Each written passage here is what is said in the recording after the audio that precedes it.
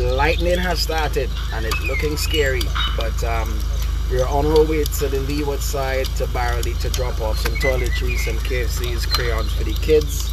Um, I look in pop them, but we're on it since.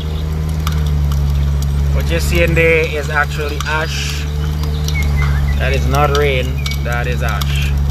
Finally heading home after after 12 hours. I am just getting home and this is what is happening outside. That's my bonnet. That's just that is not snow. This is ash. And I am very fast. Hurry up if you're coming, hurry up if you're coming. This is what's happening right now.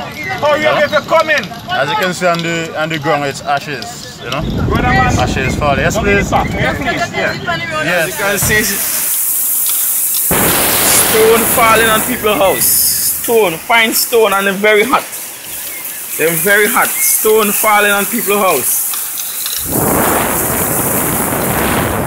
Look at smoke there, watch. People look. Watching the crowd there, watch. And we in a rumbling. Look.